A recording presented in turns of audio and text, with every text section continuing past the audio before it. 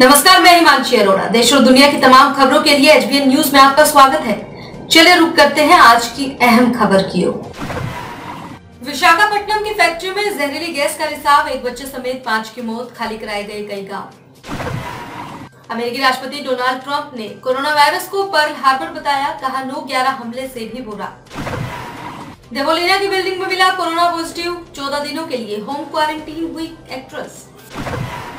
भाभी जी घर पर है कि शूटिंग होगी शुरू? कोरोना के चलते सेट पर रहेंगे actress Aarogya Setu app hack कर। सीधे केंद्र सरकार को दे दी चुनौती, उठ रहे सवाल।